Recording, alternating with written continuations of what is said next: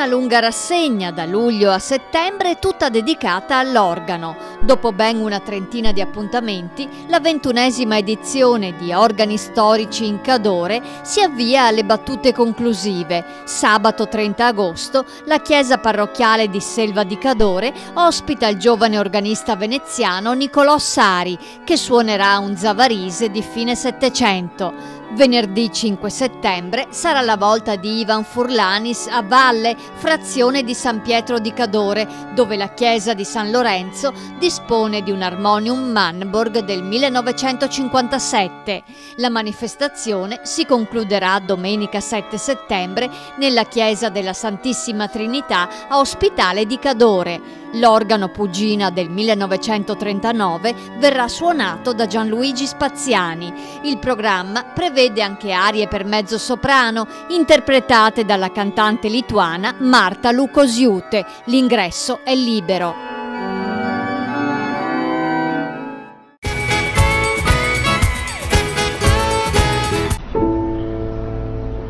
Violista più famoso al mondo, il russo Yuri Bashmet, è il protagonista del nuovo festival sulle vie del Prosecco, ovvero cinque appuntamenti dal 25 al 31 agosto nei luoghi che danno origine al celebre vino spumante italiano.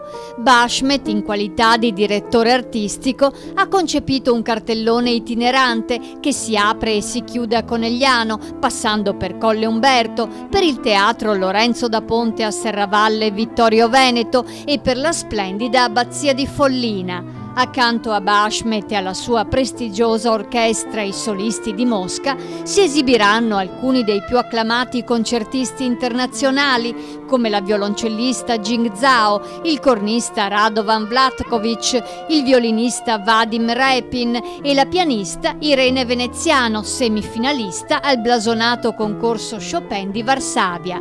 E questa prima edizione del festival riserva anche una particolare attenzione alla coralità italiana. Tra un concerto e l'altro è in programma una masterclass tenuta dalle prime parti dei solisti di Mosca, gratuita per le scuole di musica locali. Per informazioni chiamare il numero verde 800 910 636. La serata finale avrà come ospite Xenia Rapoport, la bellissima attrice russa, Coppa Volpi a Venezia nel 2009. Tutti i concerti iniziano alle ore 21.